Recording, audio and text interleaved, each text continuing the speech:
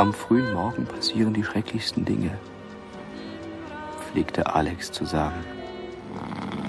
Kriegsausbrüche, Verhaftungen, Eisenbahnunglücke, Hinrichtungen und die Ausbeutung der Arbeiterklasse. Zu diesem bösen Teil der Welt wollte Alex nicht gehören. Deswegen schlief er, bis die Gefahr vorbei war das war meist erst gegen Mittag der Fall.